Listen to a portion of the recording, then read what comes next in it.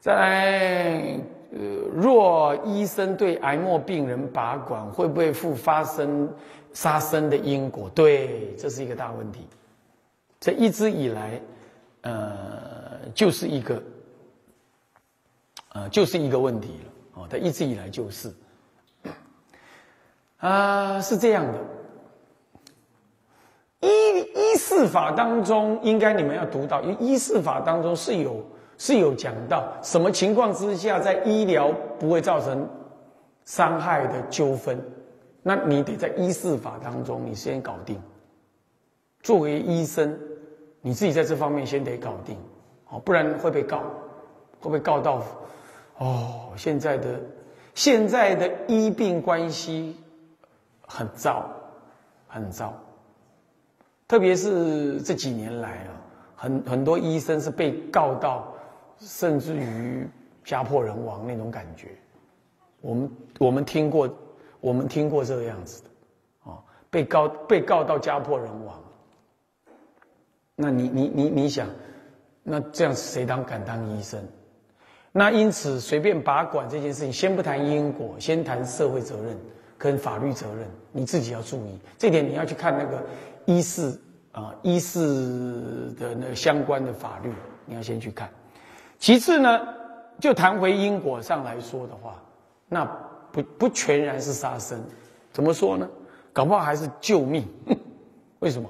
华人的文化里头呢，总是宁可见生不见死，常常呢太虚伪，有没有？那个爸爸已经卧病，已经弥留。然后呢，这个哥哥从来不再管爸爸死活的，突然间从美国赶回来，然后弟弟呢有学佛，跟哥哥讲说，是不是给爸爸八卦？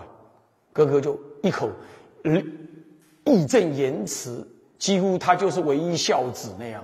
你怎么可以这样？你怎么可以这么不孝？你怎么可以不努力这么救爸爸？在那儿就这样讲，那搞得好像我们要这样做是不孝，像杀爸爸一样，弄成这样。结果你知道吗？有这么一个医疗的一个一个一个一个统计，他说，瑞典还是丹麦，他们从国家的目标是，人从死亡往前算，到不能够卧床、不能够生活自理的时间呢？他们国家的目标是多少多久？你知道吗？给你们猜。多久？啊，五天了，啊，五天的时候，哦，你是新的资料是不是？我不知道，我读到的是十四天，他目标十四天以内，还是不同国家了哈。但台湾你知道多久吗？七年，太残忍了，太残忍了，七年。最近有居士呢，他是整几师，他已经考完了。他准备再去，他已经，呃，毕业，呃，但是要去考那个整复师的那个执照。他告诉我说，所有他们的同学几几乎没有人要去做长照，为什么？因为几乎就在做一个没有救回来可能的植物人，而且给的薪水又低，工作量又大，然后环境又不好，然后怎么样？你看看，七年，这是耗损多少多少的国家医疗资源，这是很荒唐的。这就是华人文化里头的“宁见生不见死”，不敢面对死亡的文化。反正总而言之，让爸妈苟活在那里，插管在那里，还有心跳指数，这样你就就就认为你爸爸活着。你知道吗？我常常去，我做一个师傅，我常常去人家那种那种所谓的长照的，或者是那种植物人病房里头，那妈妈已经已经收缩成一个近乎人球、不成人形的样子了。你知道吗？我问躺多久了？三年、五年，常常有的是。那已经是，已经是这到底这这个不知道怎么说的一样。可是你说，当然了，佛教不主张安乐死的，问题是也没也也不主张惨痛活啊。不安乐死当然不可以啊，安乐死当然不可以啊。但是这种这种活法，这哪是佛教的目标啊？所谓的不杀生，或所谓的什么，就是不积极做什么呢？不积极做那个非自然性的这个，或者没有统计上没有没有多大效果救活的这种急救。一般来讲，佛教比较容易容易接受的急救是突然间的死亡，突然间的车祸。这种青壮年、这种壮年状态之下，呃，或者是非久病的，可这突然性的，比如说中风，突然间的这种，那你急救 OK。但急救的结果实在是没有没有未来的时候，就不要随便进行所谓的侵入性插管，就不要了。因为你天然的生命，你可以想象一只狗、一只猫、一只大象、一个一一只猩猩，它在面临死亡的时候，它会有这些机械性的东西在它身边吗？没有啊，就自自然然的死亡啊，对不对？佛教比较强调这样随业而自然死亡的，这是接受。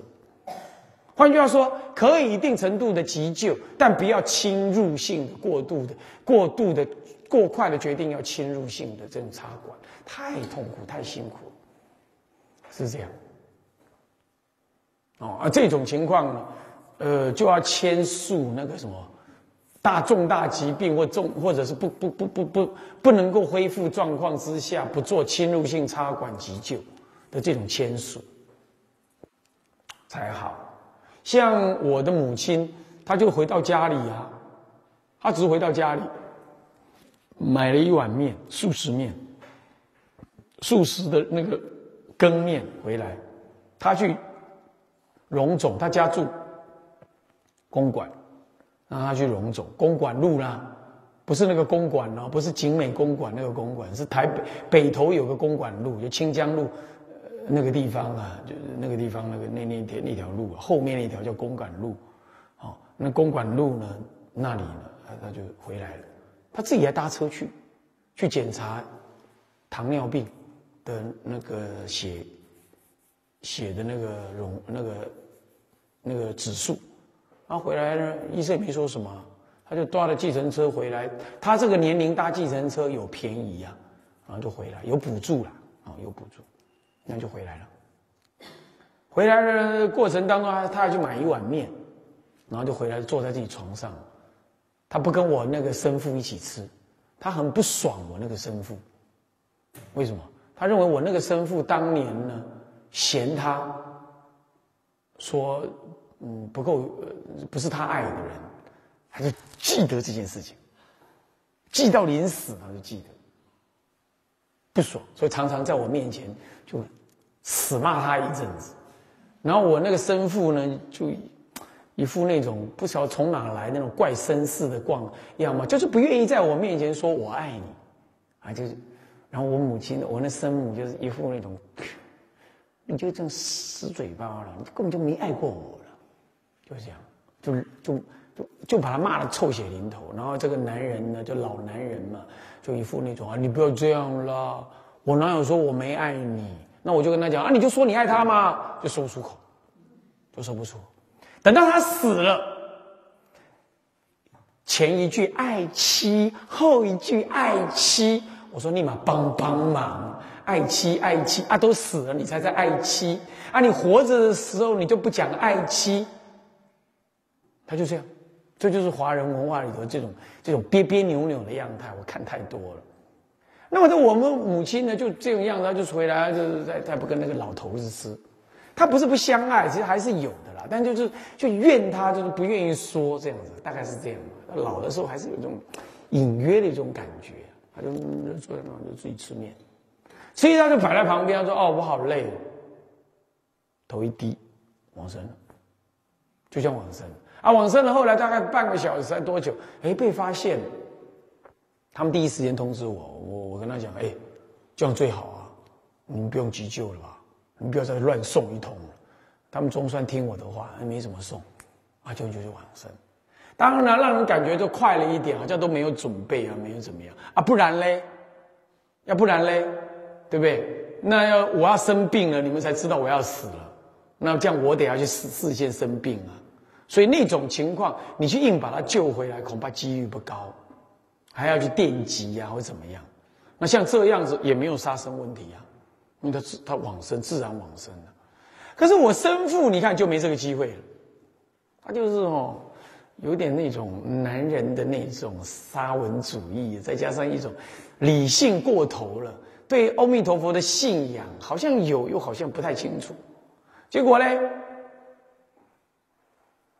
不过这个是对老年人的那种防护哦，台湾人比较松散，说是说孝顺都不再在意，或者没这个基本基本修养，他对行动很自在。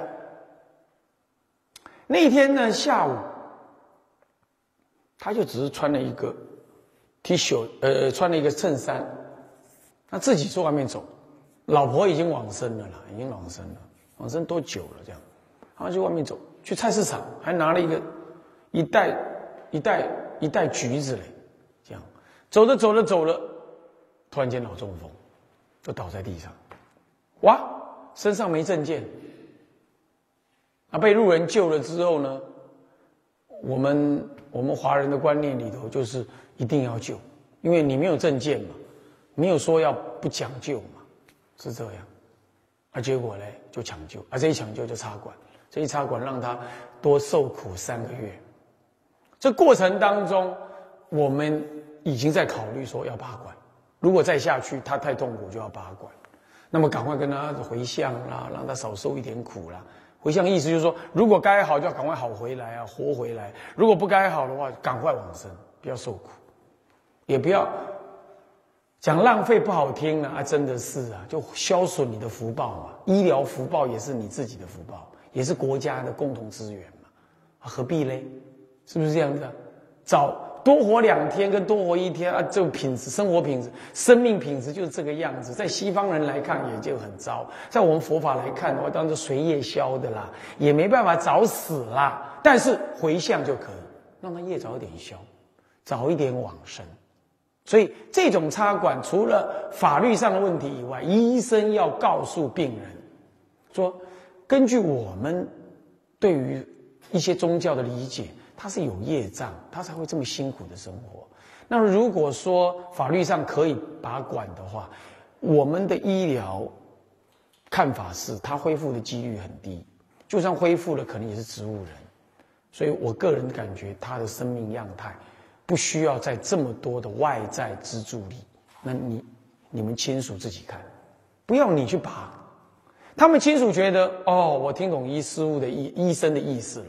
我们去做佛事，我们让他早一点能够有个决定，也就是说，赶快业障消，要好赶快好，要往生，早一点往生，少受苦。不是我们受苦，是他受苦。我们是希望他少受一点苦，这样懂吗？儿孙应该做，你做医生的应该告诉病人是这样讲。万一病人呢？不全然是佛教徒，道教徒也可以这样说，但差就差在基督教徒回教徒就没办法这样说了。这个时候你就要跟他这样讲：，根据我们医疗的情况、跟过去的经验、跟统计的学，你你你的父亲、你母亲今天这个状况，呃，恢复的几率不不高啊，恢复的状况恐怕也是怎样？哦啊，他现在蛮受苦的，因为插管本身就不舒服，哦，那未来现也只能缓和。已经没有所谓的治疗恢复的积极性作用了，这点我做医生要告诉你们。先说好，不要让他们错误期待。哦，这样子。那如果你们有一些你们对于他或他个人该办的事情，你们我我的建议是，你们可能处理一下，会比较不不那么手忙脚乱。他如果反过来问说，那我们父亲这样。在这种状态之下，可不可以拔管？那你就要查医疗的医事法当中情况是怎样，有没有在这种状况底下可以拔管的？如果可以容许他们签署了，那你就帮他拔。你的你是依着你的认知理解来说的，那他们家属也同意，已经到了生命最尾端，那样子的痛苦生活是不好的。不过呢。要做这个最后的决定之前，最好还是怎么样，让他们能够做做善事回向，最好让他自己往生是最好，因为你的判断终究还留下一个留下一个阴影了，就是说，哎，我这判断会早了一点或晚了一点，这第一种。第二种有一种说法是认为说，既然已经插管是他的业，那让他的业消吧。怎么做呢？就是插管是要干什么？如果插管只是让它产生营养剂继续存活，那还可以哦。有一种插管是根本就怎么样？这是医疗行为当中的不说的秘密了，根本就产生抗生素，哦，还有种种的那些强心剂放在里头。事实上是已经在药物当中做了不不需要了的支撑。我们你想看，我们一般人活着怎么活着？能不能平常打强心素在，强心剂在活着？当然没有啊。我们一般来讲，我们打着那个抗生素在活着，当然没有啊。是怎么活着的啊？就是一般正常吃饭活着的，对不对？医疗的过程当中，你说开一个刀会活回来，所以我为了避免呃感染，我打抗生素，我觉得说得过去。可是长期依靠抗生素过日子，哇，这就太让他辛苦了，哦，那对他的身体的损耗也太大。像这种情况，就可以要求说，不少打，减少打，让他的生命恢复到一个正常面对的状态。这样，那这样也没有拔管呢，他自然的在没拔管的状态底下往生。那这样也规避了那个所谓的死亡的，我们把拔管做这个加工死亡，被人家质疑为加工死亡的或的这种心理压力。所以总而言之，我们把持一个原则，就是不加工求活，而也不加工求死，让他在自然状态底下死亡，这是佛教最高的原则，是这样。当然，如果已经发生了一个在那里。活的状态是一个靠外在器具存活的状态底下，那么我们也可以解释为那是他的业他要受这些苦也是可以，所以没那么积极的帮他鼓励拔管，这个是也没有过失，因为他的业如此。那这个时候怎么办呢？消业最快。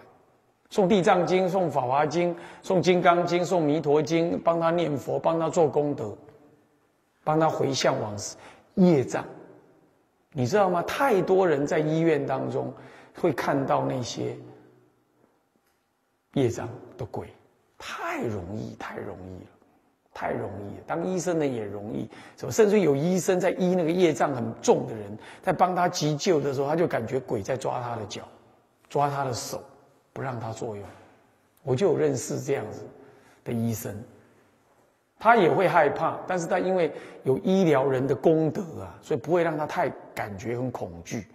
他问我说：“这怎么办？”他心里也明白。我说：“你心中念观音菩萨，然后求观让观音菩萨做主。你也不知道啊，该不该救啊？有这么一位居士，他会给人家起死回生的那种按摩。”那有一次呢，他一过去要去碰这个病人的时候，声音就出来了，跟他讲：“这是我的，你不要碰。”你看，那个那个那业障就已经现前来讲这个话，他心里就跟他讲说：“既然遇到我了，你闪开，好凶悍啊，跟人家呛虾，你知道吗？好，结果呢，他把那个人救活了。”他自己呢没有病，躺在床上一个月，不能去上班，就是我刚刚讲那个那个那核三厂的那个工程师啊，是这样，躺了三个月，躺了一个月三个月，那后来他在梦中，他在梦中啊遇到了他的他的那个教导他的人，那个那个那个出家人跟他讲说，以后啊你呀不要那么铁齿。就跟他讲这种话，那这就是没有用佛法，他只用世间法，这样听懂吗？所以还是那句老话，要消，要求要求消业障，加紧的做。那作为一个医生，你是一个被动者啊，那又不是你的亲人呐，那你怎么办？有一种医生是佛教医生呢，帮这个病人消业障，自己掏腰包 去帮这个业，帮这个帮这个帮这个帮这个病人呐，要不就是供养三宝啦、放生啦，怎么样？那最正当的方法就是对佛教徒、道教徒说要去消业障，要去寺庙里头拜拜皈依，为他做皈依，请师傅来皈依，等等等等等，这些都可以做。像有一个这个居士团体，他呢很出对出家人是不友善，但是他因为在成大的时候是我学弟，他已经得了癌症了之后呢，也插管。他太太呢，听着他声音，是跟他讲说，他最后要在死之前，想要见家，想要见法藏法师，希望法藏法师给他开示。后来就这么辗转辗转，终于找到这里来。我说：“哦，是这样，我知道这个人，我有点印象。那怎样？”他说：“如是这般。”那太太年纪也不大，中年而已。哎，小孩子还小，啊，就像癌症。好了，我就去看他。看他之后，我就跟他讲了如何这般呢？看起来还有精神。那我们也不知道他还能够撑多久，但太太已经撑了一两年了，她很辛苦。我讲完了之后，我就跟他讲你要皈依，哦，因为他那种居士团体都不不都二宝弟子了，不是三宝，你懂吗？对皈依都不太在意的。说我这个啊，那你要皈，你要真心皈依，我帮你皈依，给他取了个法号，然后跟他讲，那你要不要念佛？我念佛好，我们常住的帮他回向，结果是哎很奇迹耶，一个多月往生了。那他太太就打电话来，也表达感激之意，也觉得说他先生也真的是应该走，但不敢动作嘛，就就是有人问的这个问题，他他拔管是不是自杀的这个问题嘛，是这样子啊。那个时候状态还好好的，你真的不能拔拔他的管了，是这样，但是已经很辛苦了。我讲话都他只能点头这样而已，人不能回答了嘛？这样子，那你知道这尤其实有强心剂、有抗生素在里头，很辛苦，对身体是很伤害。先令抗生素是很冷的东西，啊，强心剂也是对身体有伤害的东西，没办法。啊，要走到这一步都是很辛苦了，一定要消业障。所以后来就这样子说，一个多月而已走了。他太太其实很感谢三宝。很感谢三宝，也知道这三宝威德有这个功能功德力，所以这就是例子啊！这也是做医生可以做的。那要是基督徒怎么办？一神教徒怎么办？可以啊，跟他讲要多求你们的上帝，也一样啊，也是可以消业。哦，多求你们的上帝啊！情况这样的话，你不要讲说要把管，没有啊。他们如果要把管的话。当然，一我还是那句老话，在法律上容许，那你就拔，也可以。那是他说的，你只是照做而已，你也不是你提醒他的，你没有杀生之罪，哦，这样了解吗？做决定的人才有，就算有杀生之罪，也是那个做决定的。基本上，如果法律上容许，那就没有所谓杀生了啦，哦，因为他们已经知道情况是这样，他们有他们的因果概念。